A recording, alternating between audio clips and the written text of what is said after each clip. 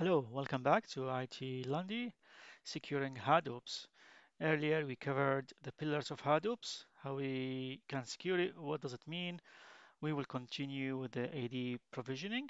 So move on to enablement, enablement of Azure AD domain services, navigate to the portal, navigate to Azure tenant, enable domain services uh, and set the focus on the config tab and enable the domain services.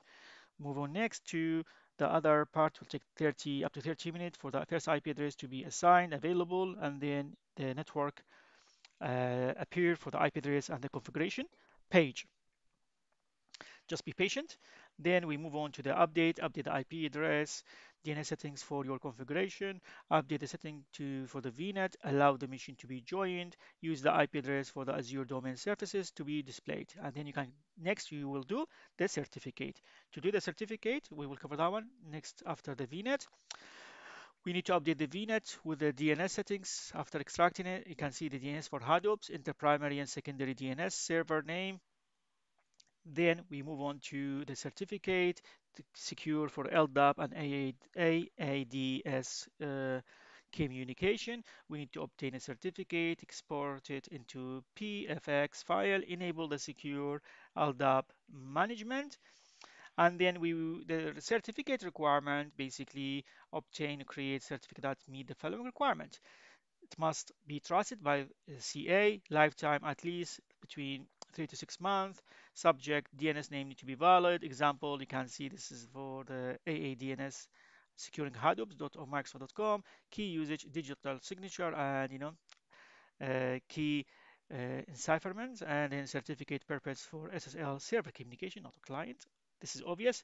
Then I'm to create the self-signed certificate. This is the command just to show you. You can do it through the GUI if you want to but I'm into PowerShell and you know like Python or others.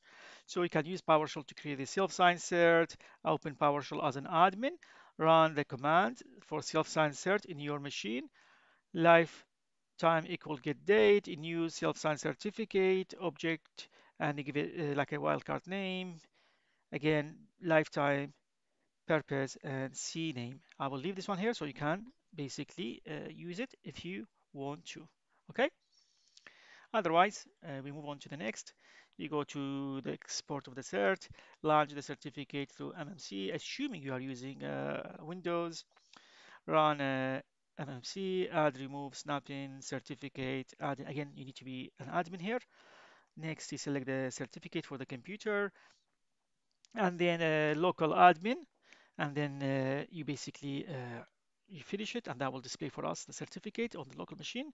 You do a right click and then you do all tasks and then you do export in order to get the uh, private key as well. So next will be uh, something like this. Welcome to export. Yes, I would like the private key. It's really important. You must export the private key. Otherwise, cert will not be valid. Enablement of the secure LDAP and the managed domain will fail at later on. Please pay attention to this one. Yeah. And next, we basically give it a password, include all the certificate chain. Again, you can export uh, other properties if needed, but the minimum requirement is just the private key. You will need it. Password. Do not export it in different format, please. And then again, you need a password. And then after exporting the password, uh, what we do, last thing, last thing, basically, give it a path to your local machine, and then click finish, and that will be it. Basically, you exported the certificate into your uh, like local uh, machine. Uh, that's all for now. I don't want to talk too much here, so let's recover the rest within the next session. Thank you for watching and goodbye for now.